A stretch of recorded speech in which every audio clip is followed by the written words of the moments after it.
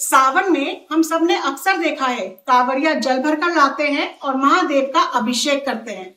ये पवित्र रिचुअल हमारी भक्ति और श्रद्धा को जोड़ता है।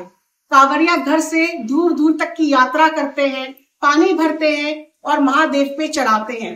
ये पानी शांति का प्रतीक है और शिव जी को अति प्रिय है। उसी प्रकार से आप 2 अगस्त सावन की शिवरात्रि पर महादेव का सात विशेष धारों से अभिषेक कर कर महादेव की कृपा, आशीर्वाद और सुख समृद्धि पा सकते हैं।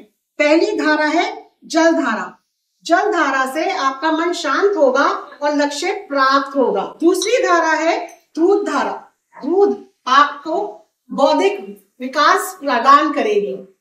तीसरी धारा है शहद धारा शहद से आपके समस्त रोग नष्ट होंगे। चौथी धारा है घी धारा। घी धारा से आपकी सभी मनोकामनाएँ पूर्ण होंगी। पांचवी धारा, गुलाब जल की धारा। इस धारा से आपको समस्त भौतिक सुखों की प्राप्ति होगी। छठी धारा, गन्ने की रस की धारा। ये आपकी आर्थिक तंगी को दूर कर कर लक्ष्मी का वास कराएगी। सातवीं और आखिरी धारा, सरसों के तेल की धारा।